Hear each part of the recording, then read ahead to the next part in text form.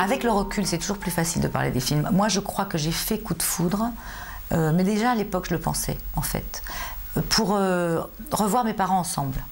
Parce qu'ils se sont séparés quand j'avais 6 ans et ils ne se sont jamais revus. Et ça, c'était mon, mon drame, le drame de mon enfance sans doute. C'est pas vraiment le divorce. Le divorce, c'était mon drame parce qu'on était très peu nombreux à l'époque. Donc ça, c'était mon exception, disons. Mais c'est surtout la douleur du fait qu'ils ne s'entendaient plus, donc ils ne voulaient plus se voir, donc ils étaient fâchés. Et donc, moi, j'étais ballottée d'un parent à un autre. Et je pense que l'idée de faire coup de foudre m'est venue quand je me suis dit, j'aimerais bien les voir ensemble. Comment ils étaient ensemble? Puisque je ne les ai pas vus heureux ensemble, euh, ni même se rencontrer, enfin, surtout pas se rencontrer, mais et heureux jamais. Et, après, quand ils se sont séparés, c'était vraiment deux vies différentes. Alors, ça a été ça le point de départ. Et comme ils avaient une histoire un peu particulière, et que cette histoire, bah, comme elle a bercé mon enfance comme tous les, tous les, tous les enfants connaissent l'histoire de leurs parents. On connaît une vague histoire.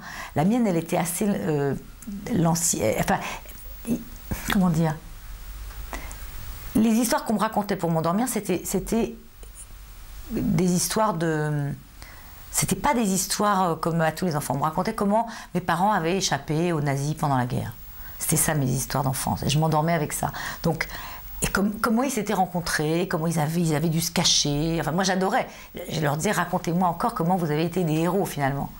Et, euh, Coup de foot, c'est un peu un hommage à, à, la rencontre de mon père, ma mère, et puis à leur vie et à leur séparation. Voilà, c'est cette, euh, cette tranche de vie-là.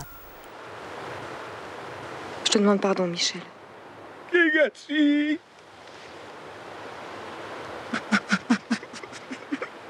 tu peux dormir sur le canapé si tu veux. Mais je préférais que tu sois parti quand les enfants se réveilleront.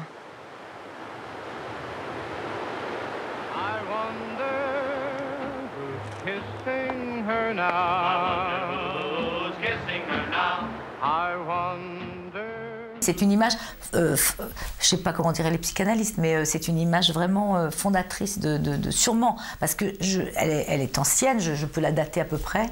et voilà, c'est une image qui c'est parmi les images très fortes qui vous marquent. Oui, c'est mon père qui est penché au-dessus d'une longue table et il, est de dos et moi j'entre par inadvertance, on ne m'attendait pas et ma mère est en train de parler avec lui et je sens quelque chose, je ne sais pas ce que c'est, je sens, ça, ça, ça, ça, pèse des tonnes, il, se passe quelque chose dans cette, dans cette scène-là, et j'ai assisté à ça, mais je ne sais pas ce que c'est.